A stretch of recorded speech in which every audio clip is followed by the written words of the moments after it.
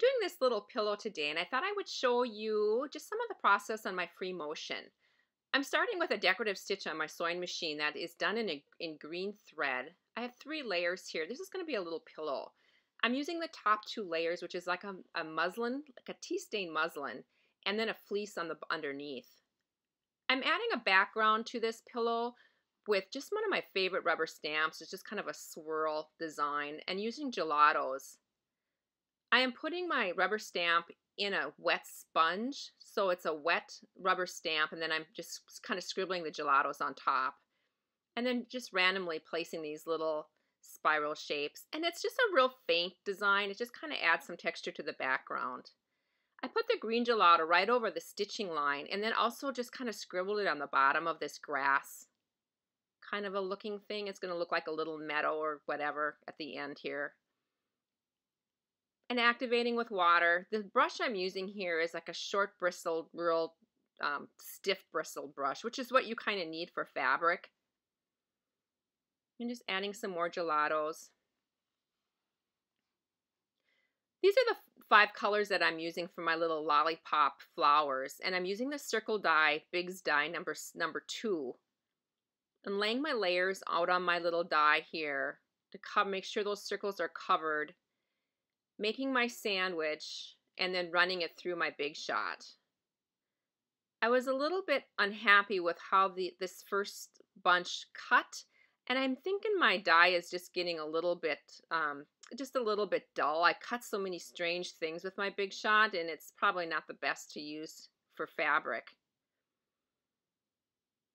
So I'm kind of giving it some help here and cutting the edges.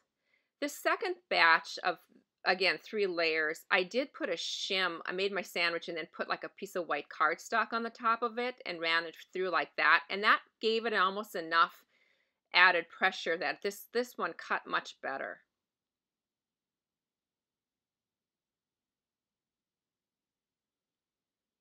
Now it's on to making my little lollipop flowers just by laying with the layers oh, out. Starting up with the larger layer on the bottom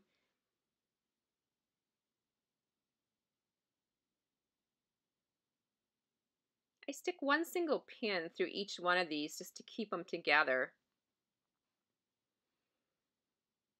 And now to place them on my background. Kind of where I want them, I'm just kind of laying them out. And once I get my placement right, I'll take and, and I'll just eh, take that pin and pin through the two layers.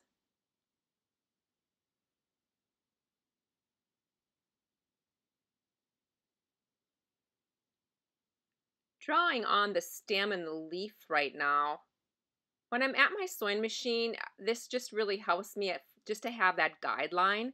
Otherwise the stems get crooked and it just it's just much easier for me to just to kind of have this little mark here.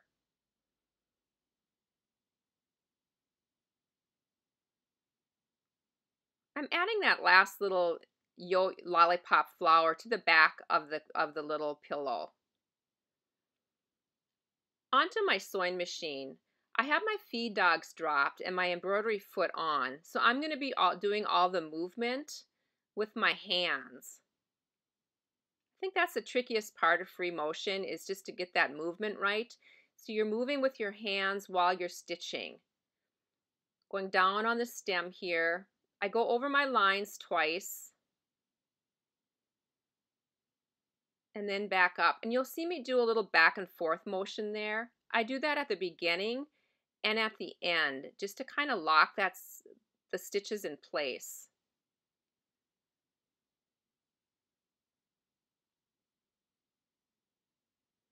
And then down I go here.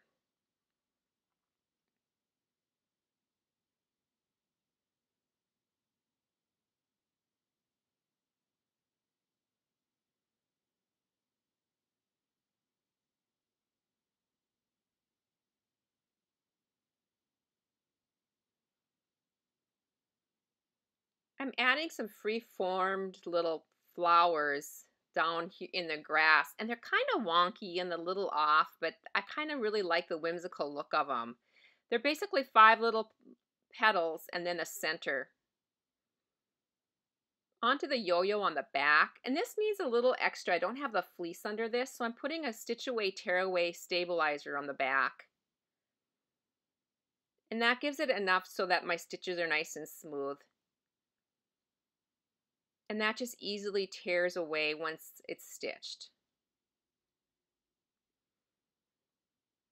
Back to my table now. I'm going to be adding a little bit more color to the stems and leaves.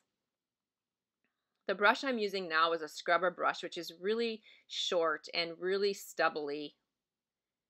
And I'm wetting the brush and then going right onto the gelato stick and taking the and just taking the paint off the stick.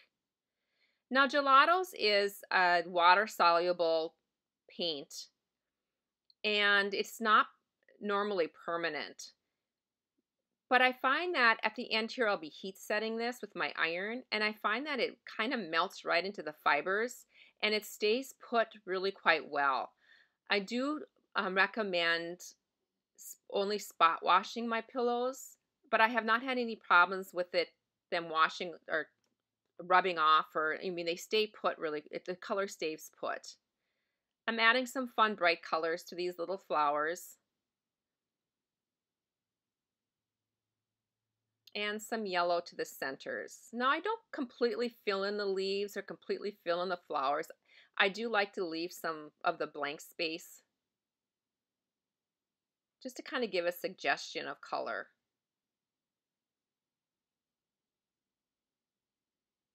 This is such a fun, bright pillow, and it's been a real good seller in my Etsy shop. Now I'm heat setting and trimming. I cut the fleece a little bit bigger than the, than the pillow top, and so at the end I'll be just making sure everything is evened out. And I'm going to link above um, the iCards another video where I show how I finish off my pillows and also the stuffing that I use, my favorite stuffing and all that good stuff. So make sure to watch that and give you some more hints on finishing a pillow.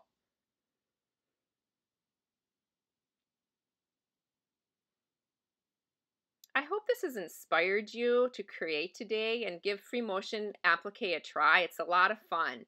Have a great day. Thank you so much for watching. Bye.